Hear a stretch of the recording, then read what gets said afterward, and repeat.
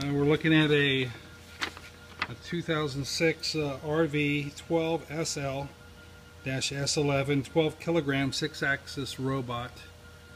Uh, this was purchased uh, new in I believe 2006. It was used less than 200 hours uh, to try to master teaching it how to play ping pong.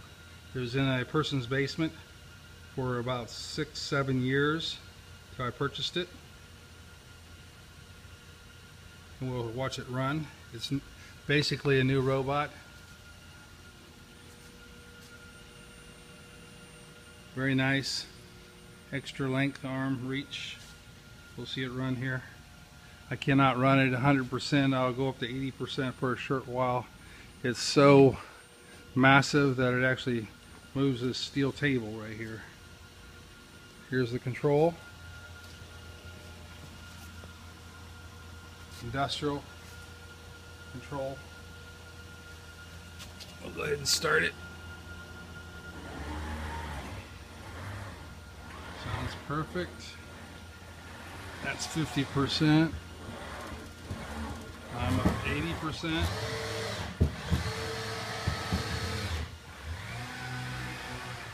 Got to stay out of its way.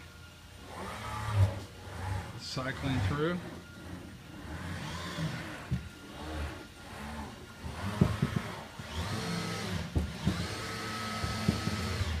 That's going 70%.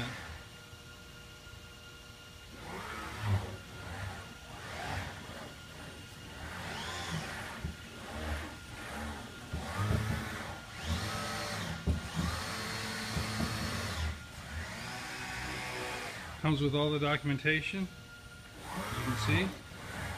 You even have the uh, original proposal. It was sold by Rexan. And here's the price.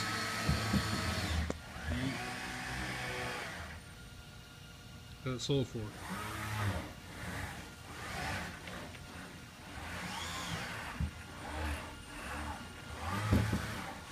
Pendant control with it, as you can see on the left hand side there.